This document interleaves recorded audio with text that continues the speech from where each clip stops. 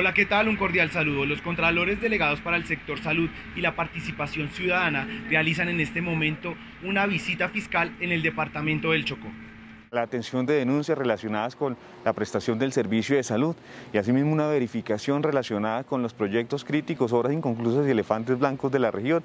Esta visita se realiza ya que la Contraloría identificó 26 proyectos en el departamento del Chocó por cerca de los 287 mil millones de pesos que presentan algunas problemáticas. Adicionalmente, el Contralor General de la República, Carlos Felipe Córdoba, se encuentra realizando una veeduría en el municipio de Armenia, Quindío. Esta es una noticia en desarrollo.